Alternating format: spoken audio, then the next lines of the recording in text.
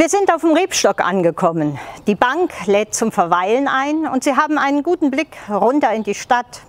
Rebstock, hier haben mal die Juden von Montabaur gelebt. Bis 1350 lebten die Juden in der Judengasse. 1350 die Zeit des ersten großen Pestzuges, der durch Europa ist. Und man hat den Juden angelastet, ihr seid schuld am Ausbruch der Pest, ihr habt die Brunnen vergiftet. Viele wurden verfolgt, vertrieben oder getötet.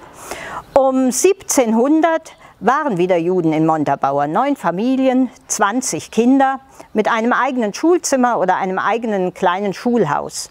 Mir gegenüber ist das jüdische Bethaus.